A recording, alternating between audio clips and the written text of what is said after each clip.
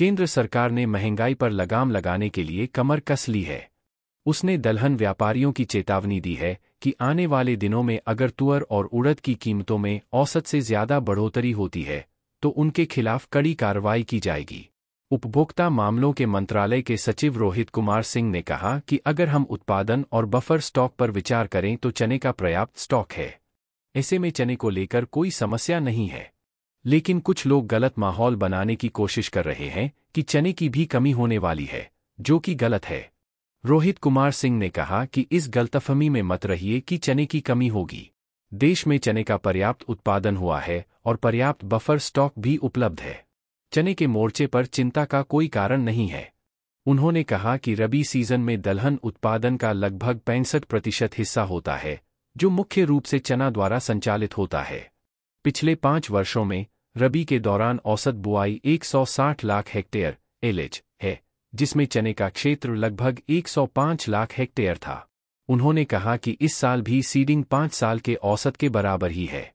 सचिव रोहित कुमार सिंह ने कहा कि इस वर्ष चना 104.74 लाख हेक्टेयर में बोया गया है, जो सामान्य क्षेत्रफल 100.92 लाख हेक्टेयर से अधिक है। लेकिन पिछले साल के 110.71 लाख हेक्टेयर से कम है। इसी तरह मसूर की बुआई 19.6 लाख हेक्टेयर में हुई है, जो लगभग 13 से 14 प्रतिशत की वृद्धि है।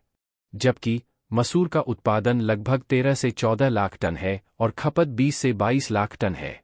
सिंह ने कहा कि इस साल हमारा मसूर उत्पादन अधिक है और ऑस्ट्रेलिया, कनाडा और अन्य उत्पादक क्षेत्रों में अंतर्राष्ट्रीय बाज़ार में भी अच्छी उपलब्धता है। उन्होंने कहा कि मसूर के मोर्चे पर कोई चिंता नहीं है। सिंह ने कहा कि उड़द के मामले में रकबे में 10 से 11 प्रतिशत की गिरावट आई है और मांगा पूर्ति में अंतर लगभग सात डॉट पाँच, सात डॉट आठ लाख टन है। उनकी माने तो हमारा सारा आयात म्यांमार से होता है।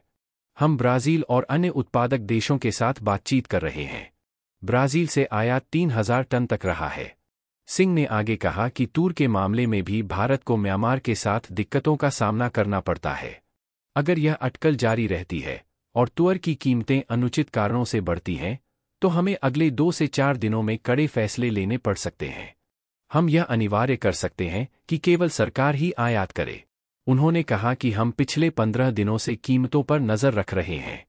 मैं आपको चेतावनी देता हूँ कि यदि तुअर और उड़द में सट्टेबाजी जारी रहती है यह अनुचित और अनावश्यक है।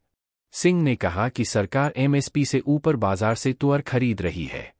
उन्होंने कहा कि हम पहले ही करीब 300 टन खरीद चुके हैं। इसके अलावा, सरकार दालों की मांगापूर्ति पर अनुमान लगाने की कोशिश कर रही है। Bureau report, market times TV.